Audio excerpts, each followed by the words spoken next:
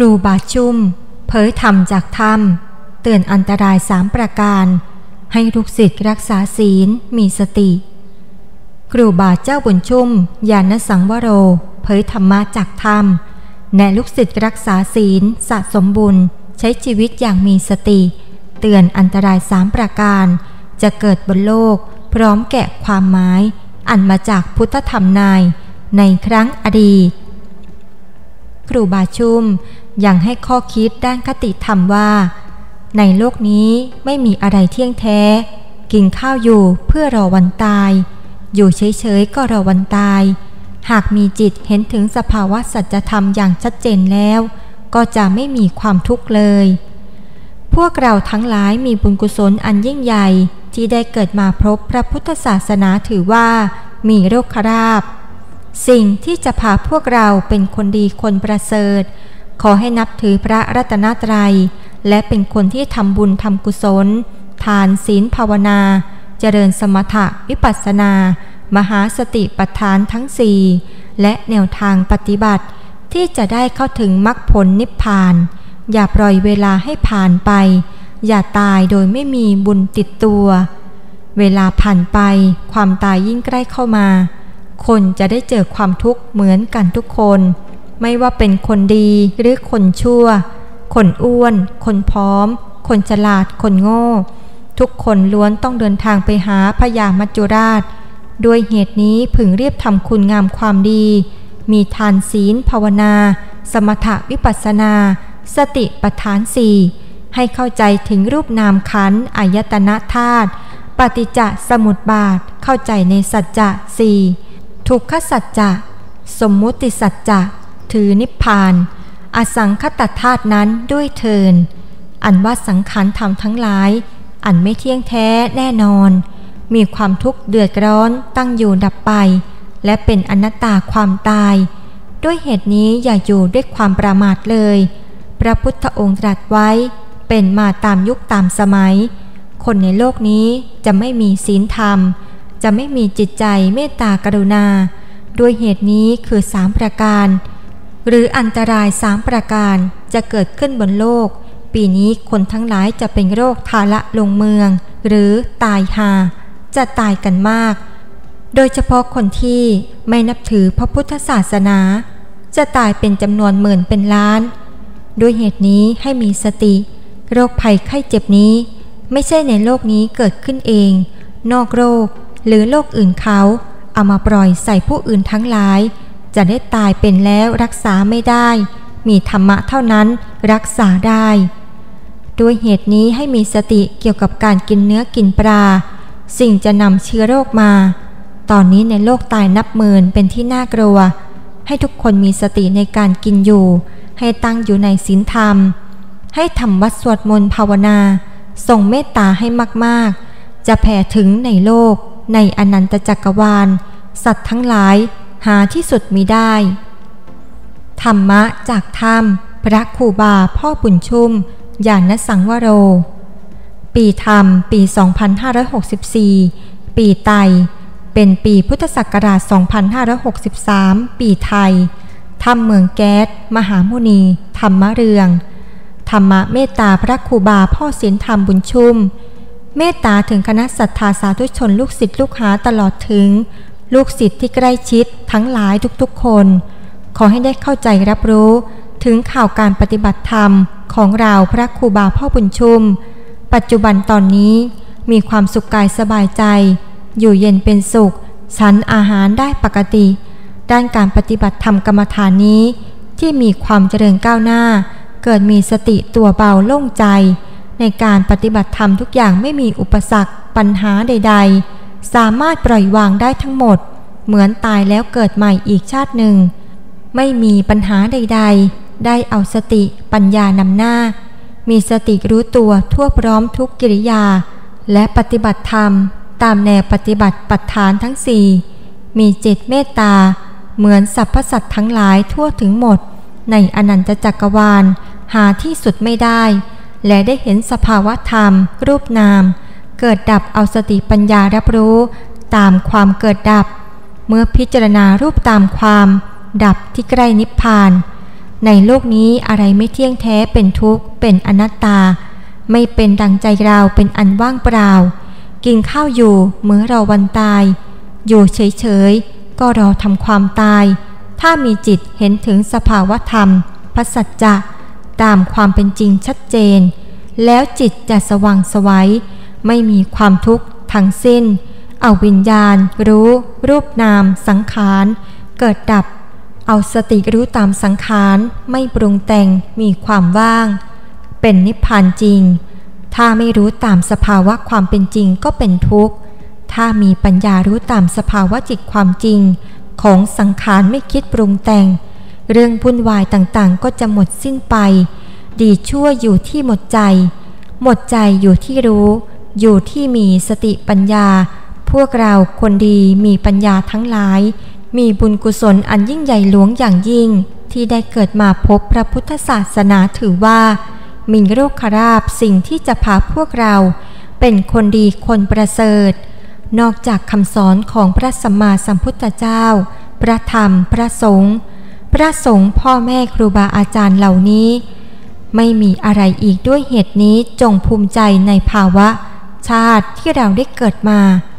พบเจอพ่อแม่ที่ดี มีสัมมาทิฏฐิ นับถือพระรัตนตรยัย และเป็นคนที่ทำบุญทำกุศล ทานศีล ภาวนา เจริญสมถะวิปัสสนา มหาสติปัฏฐานทั้งสี่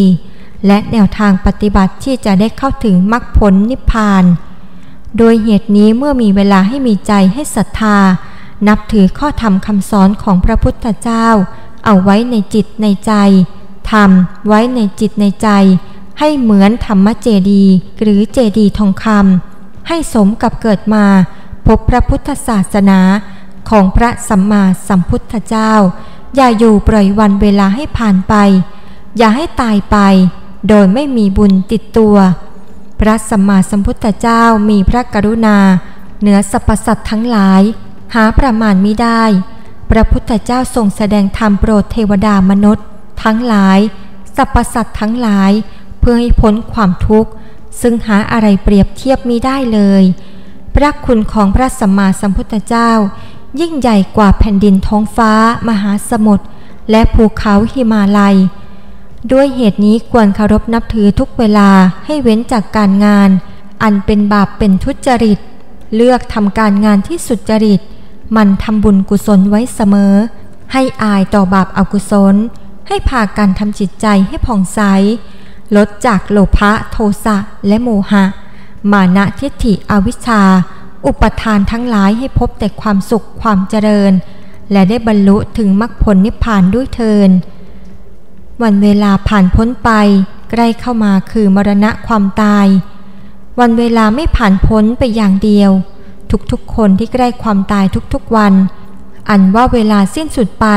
มันไวอย่างยิ่ง เหมือนสายน้ำไหลใกล้วันตาย ก็จะได้เจอความทุกข์เหมือนกันทุกๆคน อันว่าพญามัจจุราชไม่เว้น เล็กใหญ่คนดีคนร้าย คนจน คนรวย คนอ้วน คนผอม คนโง่ คนมีปัญญาทุกๆคนที่กล่าวนี้ ต้องเดินทางไปหาพญามัจจุราช ด้วยเหตุนี้พึงรีบทำคุณงามความดี มีทานศีลภาวนา สมถวิปัสนาสติปัฏฐานสี่ให้เข้าใจถึงรูปนามขันอายตนะธาตุปฏิจจสมุตบาท ให้เข้าใจในสัจจะสี่ทุกขสัจจะสมมติสัตว์ถือนิพพาน อสังคธาตุนั้นด้วยเทิน อันว่าสังขารธรรมทั้งหลาย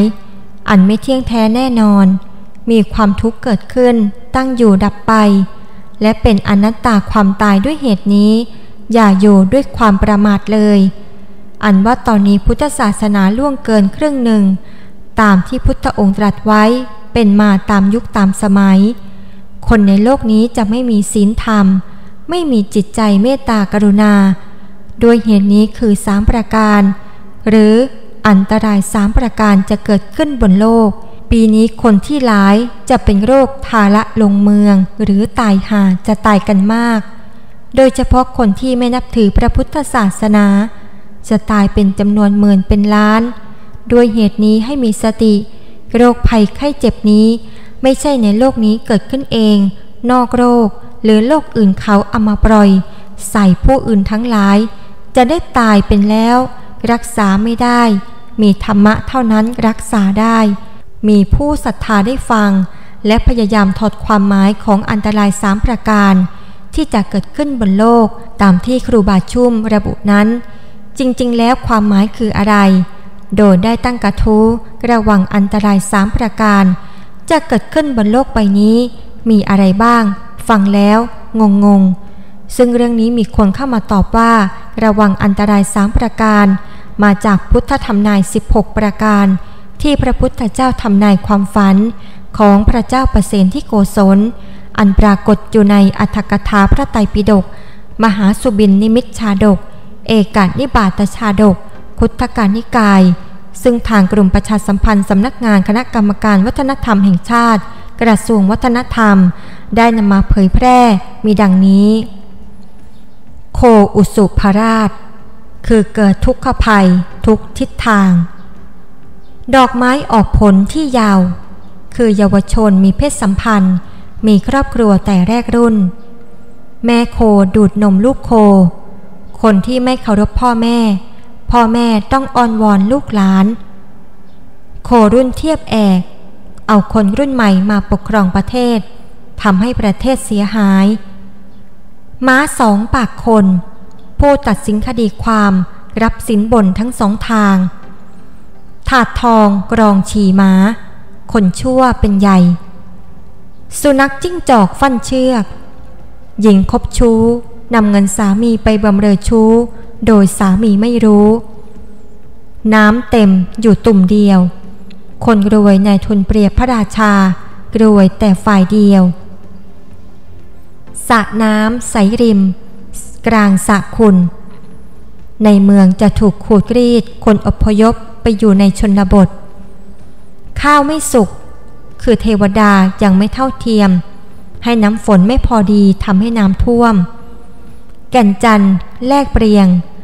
ศาสนาเสื่อม ภิกษุนำสิ่งที่มีค่า พระธรรมแลกกับปัจจัย น้ำเต้าจม คนโกหกจะมีคนเชื่อ คนพากันเชื่อพระผู้ทุศีลศิลาลอย คนพูดความจริงคนจะไม่ฟัง พระผู้มีศีลไม่ได้รับการเคารพ เขียดขยองงู เมียอ่อนวัยจะด่าว่าสามีด้วยอำนาจไม่ยำเกรง หงทองล้อมกา คนชั่วได้รับอำนาจได้เป็นใหญ่ คนดีต้องยำเกรง เสือกลัวแพะ คนดีถูกคนชั่ว ที่ได้รับอำนาจประทุษร้าย พระครูบาบุญชุ่ม เตือนลูกศิษย์ใช้ชีวิตอย่างมีสติ ระวังอันตรายสามประการ จะเกิดขึ้นบนโลกใบนี้ ประการที่หนึ่ง